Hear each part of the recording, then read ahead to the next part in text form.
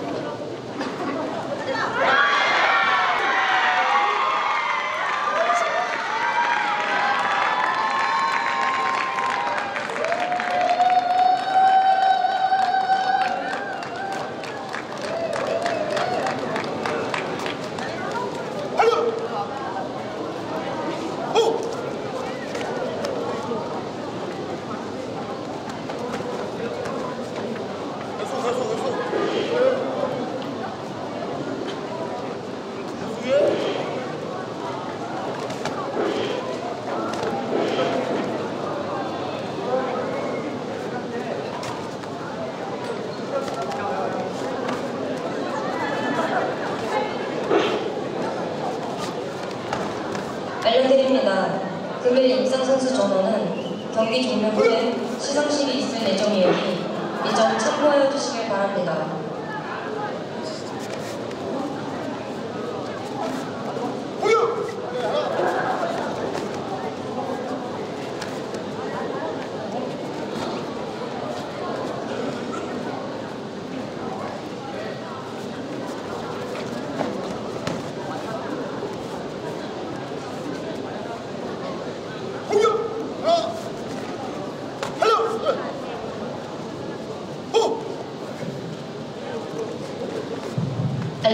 알려드립니다.